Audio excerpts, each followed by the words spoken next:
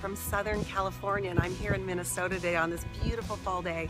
And I just found out I'm being featured in Defyeneurs magazine. Oh my gosh, that gorgeous publication that just highlights ordinary everyday people doing extraordinary things.